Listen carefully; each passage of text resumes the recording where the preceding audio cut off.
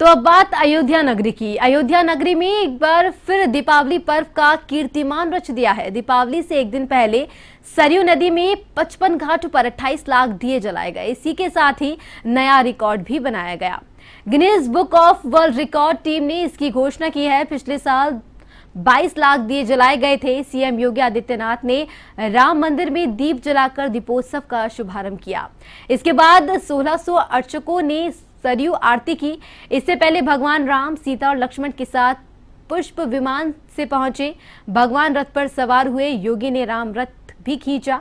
इसके बाद सीएम योगी ने राम की आरती उतारी और राज तिलक किया। रामलला की प्राण प्रतिष्ठा के बाद यह पहला दीपोत्सव है। इसमें करीब तीन लाख लोग शामिल हुए। दीपोत्सव के बाद लेजर लाइट शो का आयोजन किया गया। इस आयोजन की खास बात यह थी कि इसमें रोशनी और चमक का अद्भुत संगम देखने को मिला।